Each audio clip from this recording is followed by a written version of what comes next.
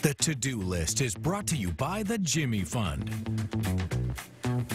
From live music, art, even dinosaurs, there's plenty to do this weekend. WBZ's Rachel Holt takes a closer look at your Labor Day to-do list. As the Patriots gear up for the regular season, dinosaurs are taking over Gillette Stadium.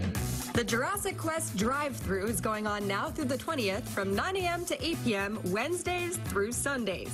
Guests will be able to spot over 70 moving and lifelike dinosaurs during the interactive experience. Tickets are $49 per vehicle. Stop by DeCordova Sculpture Park and Museum after hours for Thursday picnic nights. From 6 to 8 p.m., enjoy the grounds and the view of Flint Pond. Bring a picnic with you or have a picnic box ready upon your arrival. The price of admission is $25 per family.